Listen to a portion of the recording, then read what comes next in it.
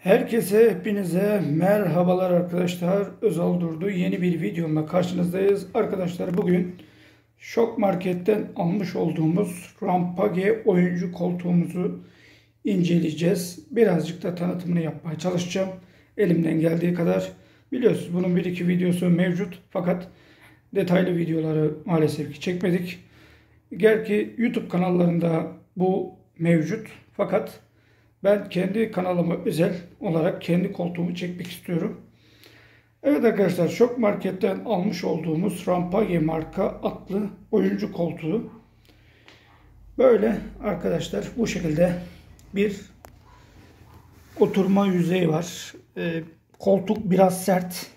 Şu oturduğumuz noktalar yerler sert. Üzerine zaten oturduğumuz zaman da bunu her türlü fark edebiliyoruz. Yine aynı şekilde arkadaşlar şu kısımlar da aynı şekilde sert.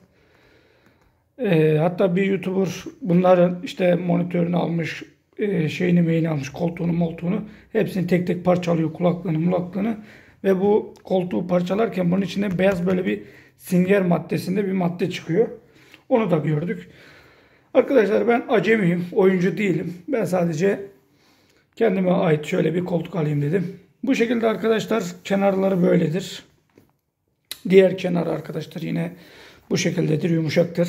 Burada bir adet baş dayama yastığı mevcuttur. Bu yastık da biraz sert ama olsun.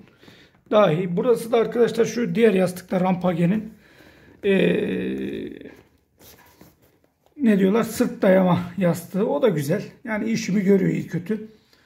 Şimdi arkadaşlar şu kollarına gelelim. Bu kolları arkadaşlar YouTube'da da zaten izlediyseniz görmüşsünüzdür. Bu kollarda biraz hafif böyle sağa sola oynamalar var. Ama önemli değil. Zaten burada ayar düğmesi mevcuttur bu kolların. Burada düğmeye bastığınız zaman aşağı iner. Yine düğmeye basarak yukarı kaldırabiliyoruz. Diğer e, kol da aynı şekilde arkadaşlar. Bu da böyle sallanıyor. Ve burada da yine bir adet düğmesi var. Yukarı aşağı e, oyun oynarken veyahut da işte otururken ne bileyim film izlerken bu kollardan ayar yapılabiliyor. Yine arkadaşlar koltuğumuzun görünüş şekli yan tarafı bu şekildedir. Şurada bir plastik aksamı vardır. Bunu zaten bizim amcaoğlu ile beraber kurmuştuk. Ee, şuraya hemen çevireyim arkadaşlar koltuğum. Bu tarafta arkadaşlar e, bir adet mekanizma. Yani e, bu kolu yukarı kaldırdığınız zaman koltuk aşağı yatacak. Onu da zaten sizlere göstereceğim. Burada da yine arkadaşlar koltuğumuzun arka kısmını gösterelim. Burada e, o yastıkların falan bağlantılarını böyle bu şekilde yaptık. Diğer bel dayama yastığının da kordonlarını falan buradan geçirdik. Alttan geçirdik hatta. Burada da arkadaşlar yine bir adet fermarlı yani içinde singer olduğu için böyle fermarlı tarzında yapmışlar.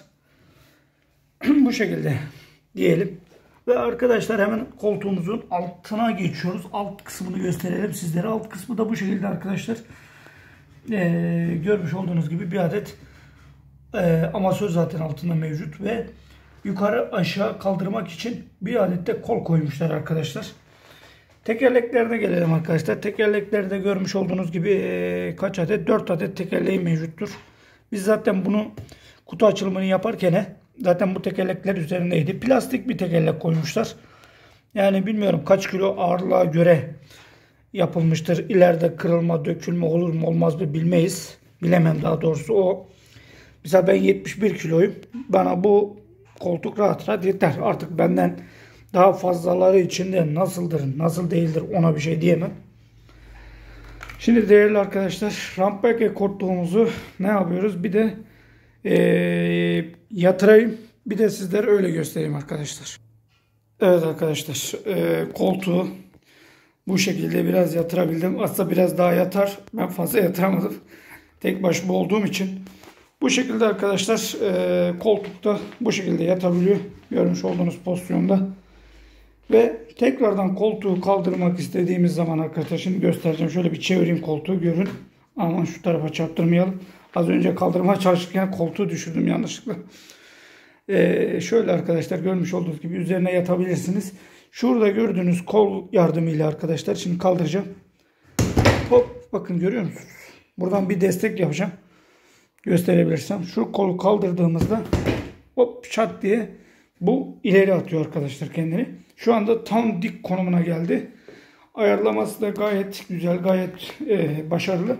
Ama işte bazen biz bir elle kamerayı tut, bir elle de koltuğu ayarlamaya çalış. Olmuyor. Yani yanımıza illaki bir kameraman şart. Belki bunu daha düzenli gösterebilirim.